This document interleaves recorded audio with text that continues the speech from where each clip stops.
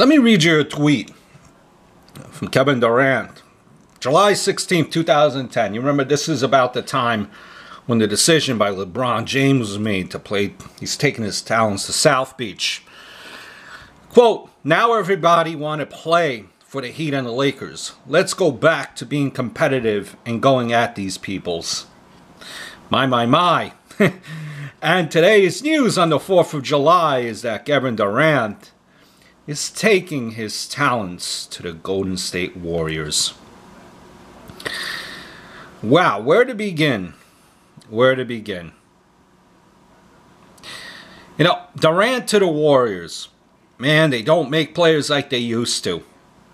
Guy jumps ship to a 73 win team instead of going back to OKC for another year of or two to try to slay the monster the literal shaking of the head. Did Thomas leave the Pistons for the Celtics? Did Jordan leave the Bulls for the Pistons? Did Ewing leave to leave New York for Chicago?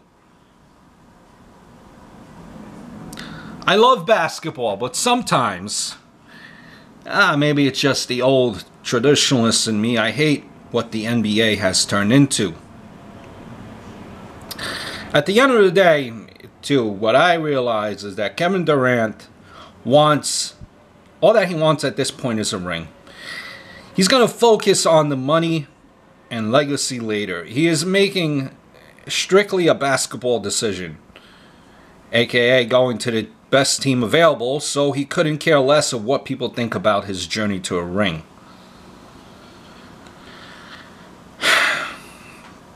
I don't know.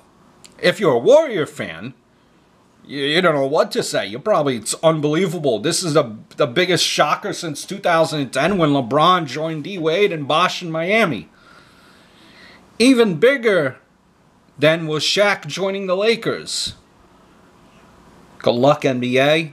You know, they're going to need it next season. It's possible for that team to go for 80 wins in the Golden State Warriors. I can, uh, you know, I could just see the Splash Brothers taking turns with KD, just dominating opponents night in and night out. Draymond Green is, he might break the record for the most triple doubles in the season.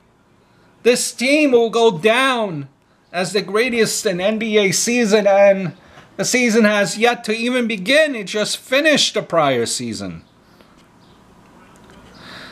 Now, though, people are going to have to hate Kevin Durant more than LeBron. Let me break it to you. They did the same thing, but LeBron and Wade formed that team together to make it into championship contenders.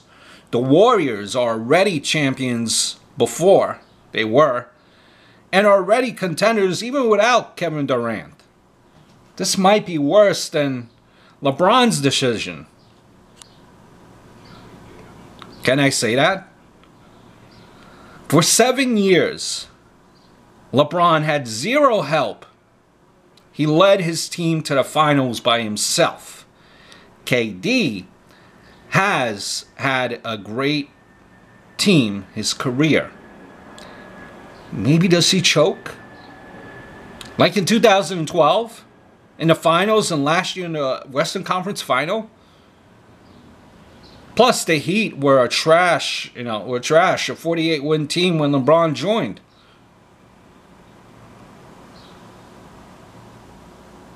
Where does he go? To a team that's 73 and 9 in the NBA.